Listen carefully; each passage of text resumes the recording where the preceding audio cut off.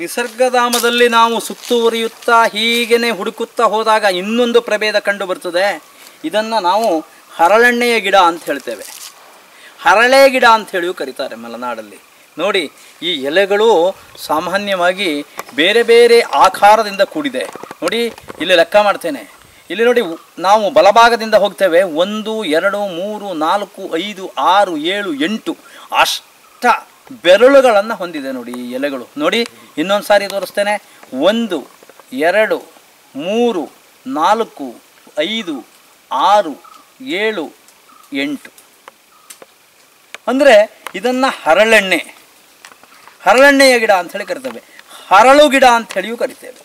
ಈ ಹರಳು ಗಿಡ ಹೇಳ್ತಕ್ಕಂಥದ್ದು ನೋಡಿ, ಇಲ್ಲಿ ಕಾಯಾಗಿದೆ.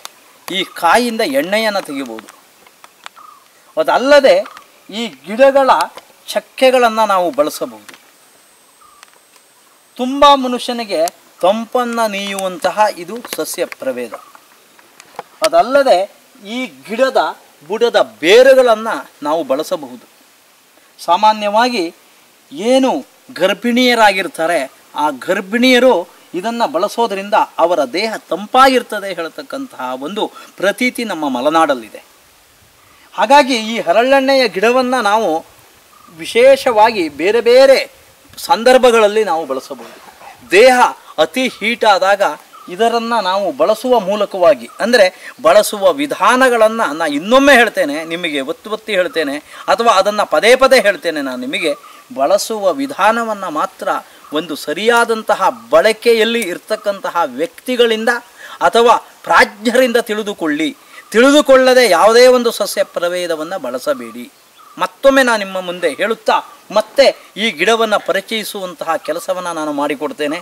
ನೋಡಿ, ಈ ಎಲೆಗಳೂ ಸಹ ಇದು ಔಷಧಿಗೆ ಬರತಕ್ಕಂಥದ್ದು. ಈ ಗ, ಒಂದು ಕಾಯಿಯಿಂದ ನಾವು ಎಣ್ಣೆಯನ್ನು ತೆಗಿಬಹುದು. ಇದರ ವಾಪೆಗಳು ಅಥವಾ ತೊಗಟೆಗಳಿಂದ ಮನುಷ್ಯನ ಚರ್ಮ ಕಾಂತಿಯನ್ನು ಹೆಚ್ಚಿಸಿಕೊಳ್ಳಬಹುದು.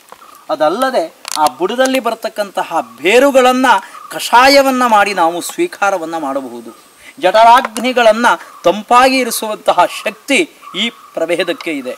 ಹಾಗಾಗಿ ಈ ಹರಳೆಣ್ಣೆ ಗಿಡವನ್ನು ಬೆಳೆಸುವ ಮೂಲಕ, ಅದನ್ನು ಕಾಪಾಡುವ ಮೂಲಕ ಮತ್ತು ಬೇರೆ ಬೇರೆ ರೀತಿಯಲ್ಲಿ ಜನಮಾನಸದಲ್ಲಿ ಈ ಒಂದು ಪ್ರಭೇದಗಳನ್ನು ಪರಿಚಯಿಸುವ ಮೂಲಕವಾಗಿ ಇದನ್ನು ಪರಿಸರದ ಮಧ್ಯದಲ್ಲಿ ಉಳಿಸೋಣ, ಬೆಳೆಸೋಣ ಹೇಳುವ ಒಂದು ಪ್ರಕ್ರಿಯೆಯೊಂದಿಗೆ ಇಲ್ಲಿಂದ ಮತ್ತೊಂದು ಗಿಡಮೂಲಿಕಾ ಸಸ್ಯದತ್ತ ನಮ್ಮ ಪಯಣುವಿಕೆ ಸಾಗಲಿ ಹೇಳ್ತಾ ಇಲ್ಲಿಂದ ವಿರಮಿಸುತ್ತೇವೆ